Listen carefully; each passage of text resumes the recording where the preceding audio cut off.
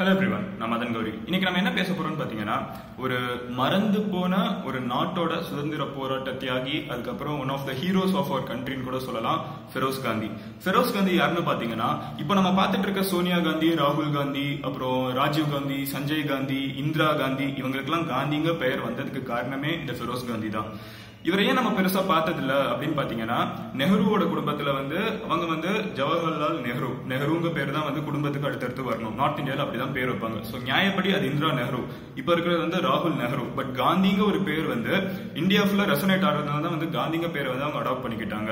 So Feroz காந்திங்கிறது யாரு அப்படின்னு பாத்தீங்கன்னா ஃபெரோஸ் காந்தி வந்து இந்திரா காந்தியோட ஹஸ்பண்ட் ஸோ இவரை பத்தி யாருமே ஏன் பெருசா தெரியறது இல்லை அப்படின்னு பாக்குறதுக்கு முதல்ல இவர் யாரு எப்படி வந்தாரு அப்படிங்கிற சில விஷயங்கள் நம்ம பார்த்துப்போம். சோ இவர் வந்து இண்டிபெண்டன்ஸ்க்கு முன்னாடி பிறந்த ஒரு ஆளு. அப்புறம் வந்து பிறந்துட்டு ஒரு பார்சி ஃபேமிலியில பிறக்கிறாரு. சின்ன வயசுலயே அப்பா இறந்துடுறாங்க. அஞ்சு பேர் சகோதர சகோதரிகள் இருக்காங்க. ஸோ எல்லாரு கூடயுமே வந்து மைக்ரேட் ஆறாங்க. மும்பைக்கு வராங்க. மும்பை இங்கேருந்து குஜராத்ல இருந்து மும்பை வராங்க.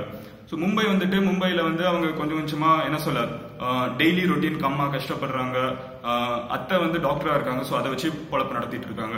இப்படி இருக்க ஒரு ஆளுக்கு வந்து திடீர்னு வந்து இண்டிபெண்டன்ஸ் மேல வந்து ஒரு பயங்கரமான ஒரு பாசம் இருக்குது. இந்தியா மேல வந்து இந்தியாக்கு எப்படியோ சுதந்திரம் வேணும் அப்படிங்கிற ஒரு வந்து ஈர்ப்பு இருக்குது. ஸோ அதனால வந்து மகாத்மா காந்தியோட ஃபாலோவரா இருக்காரு.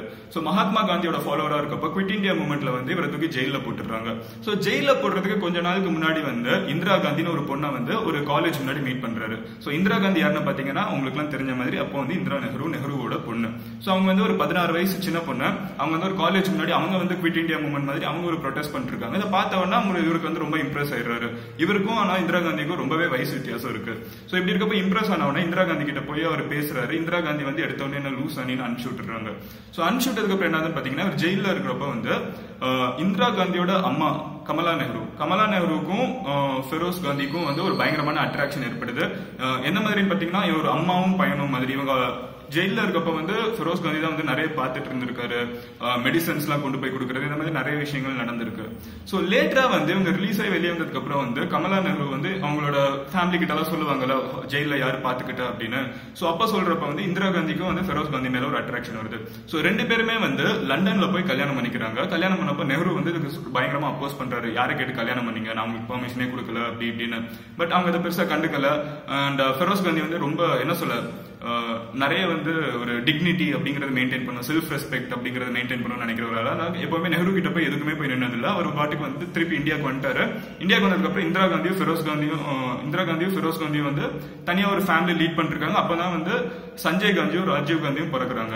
ஸோ இவங்க ரெண்டு பேர் பிறந்ததுக்கு அப்புறம் என்னதுன்னு பார்த்தீங்கன்னா மீன்வை வந்து இந்தியாவுக்கு இண்டிபெண்டன்ஸ் கிடைக்குது நைன்டீன் ஃபார்ட்டி செவனில் ஸோ நைன்டீன் ஃபார்ட்டி செவன்ல இண்டிபெண்டன்ஸ் கிடைச்சதுக்கு அப்புறம் என்ன ஆகுதுன்னு பார்த்தீங்கன்னா நைன்டீன் ஃபிஃப்டியில் நடக்கிற முதல் எலெக்ஷனில் வந்து ஃபெரோஸ் காந்தி வந்து ஜெயிக்கிறாரு. ஃபர்ஸ்ட் இந்தியன் இண்டிபெண்டன்ட் எலெக்ஷனில் வந்து அவர் வந்து ஒரு ப்ராவின்ஸில் ஜெயிக்கிறாரு. ஸோ ஜெயிச்சதுக்கப்புறம் பார்லிமெண்ட் போறாரு. பார்லிமெண்ட்டில் போய் அவர் பண்ண சில விஷயங்கள் வந்து எல்லாருக்குமே வந்து ஒரு திகிர்வான ஒரு விஷயமா இருக்கு. எந்த அளவுக்குன்னு பாத்தீங்கன்னா நெஹ்ரு ஏதாவது தப்பு பண்ணாருன்னா பார்லிமெண்ட்ல எந்திரிச்சு நெஹ்ரு வந்து நீங்க பண்றது தப்புன்னு வாய திறந்து சொல்லுவாரு.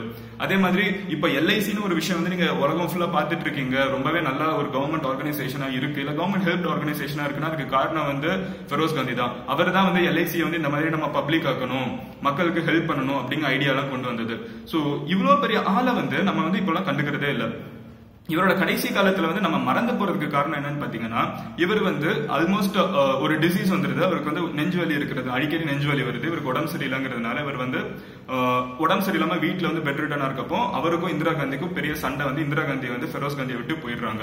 மறுபடியும் அவங்க வந்து அவங்க இறந்து போறப்போ வந்து தான் பாக்குறாங்களே தவிர அது வரைக்கும் இடையில வந்து அவங்க ரெண்டு பேருமே மீட் பண்ணிக்க கூட இல்ல. சோ இவ்வளவு பெரிய கேப்னால வந்து என்னதுன்னு பாத்தீங்கன்னா இந்திரா காந்திக்கும் ஃபெரோஸ் காந்திக்கும் ஒரு பெரிய பெரிய பிரச்சனை தான் வந்து கடைசியில வந்து நம்ம ஃபெரோஸ் காந்திங்க ஒரு ஆள் மறந்து போறதுக்கே ஒரு காரணம் ஆயிடுச்சு மேபி அவங்க ரெண்டு பேரும் ஒரு நல்ல ரிலேஷன்ஷிப்ல கடைசி வரைக்கும் இருந்திருந்தாங்கன்னா இவர் எவ்வளவு பெரிய ஆள் நம்மளுக்கு தெரிஞ்சிருக்கும். சோ இவர் வந்து ஒரு மறைக்கப்பட்ட ஒரு ஆளு இப்ப காந்திங்க ஒரு பேருக்கு காரணமே இவர் தாங்கிறது நம்மள எத்தனை பேருக்கு தெரியும். சோ இந்த ஒரு விஷயத்த உங்ககிட்ட ஷேர் பண்ணணும்னு நினைச்சேன். எக்ஸைட்டிங் ரைட் நீங்க வந்து just unlock the most confusing thing ஏன்னா எப்பவுமே யோசிச்சிருப்பீங்க நெஹ்ருக்கு பிறந்தது எப்படி இந்திரா காந்தி ஆகும்னு நிறைய பேர் யோசிச்சிருப்பீங்க. அதுக்கு காரணம் இதுதான். அதை தான் உங்ககிட்ட நான் ஷேர் பண்ணணும்னு நினைச்சேன். ஸோ ஃபெரோஸ் காந்திங்க ஒரு ஆளை வந்து கவர்மெண்ட் ரெகக்னைஸ் பண்ணாம இருக்கலாம். நம்ம டெக்ஸ்ட் புக்ல வாசிக்காம இருக்கலாம். பட் நம்ம நம்ம ஒரு சொசைட்டியா இருக்கும்.